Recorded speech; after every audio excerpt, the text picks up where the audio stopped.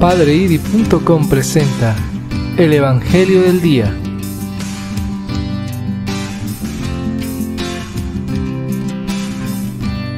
Del Evangelio de nuestro Señor Jesucristo según San Lucas.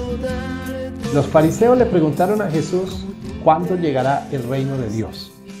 Él le respondió, el reino de Dios no viene ostensiblemente, no se podrá decir está aquí o está allá.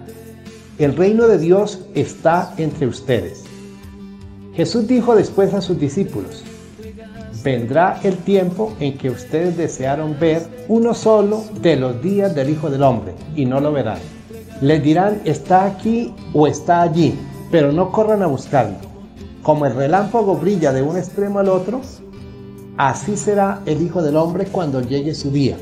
Pero tendrá que sufrir mucho y será rechazado por esta generación. Palabra del Señor. Gloria a ti, Señor Jesús.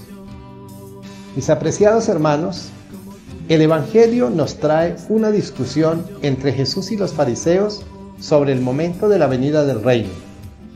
Para Jesús el reino de Dios ha llegado, ya está en medio de nosotros, independiente de nuestro esfuerzo y de nuestro mérito.